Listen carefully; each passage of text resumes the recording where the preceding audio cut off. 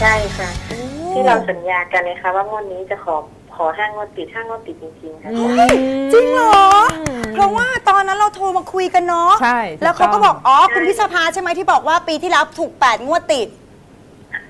ตอนนี้ทำที่ห้างวดแล้วค่ะอาจารย์ตอนนี้โอ้5งวดแล้วสุดยอดเขาบอกว่าปีที่แล้วถูก 8 งวดติด ปีเนี้ยจะเอา 10 งวดติด เออ แล้วก็ผ่านมา 4 งวด อันนี้ได้ 5 งวดแล้วโอ้โหยสุดยอด แต่มันจะเป็นอย่างนี้ตลอดนะคะอาจารย์จะถูกอ่าเหมือนกับว่า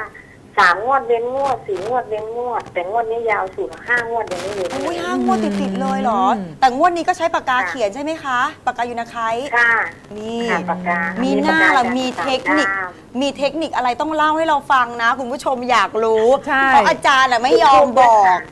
อืม จริง ๆ ไม่ถึง 500 นะ เพราะว่าอาจารย์ซื้อ 2 แถม 1 นะถูกคะ ต้อง คุณผู้ชมค่ะไม่ถึงห้าร้อยแต่จุดทีได้ทีหมื่นห้าสองหมื่นก็คุ้มนะอาจารย์ อุ้ยจุ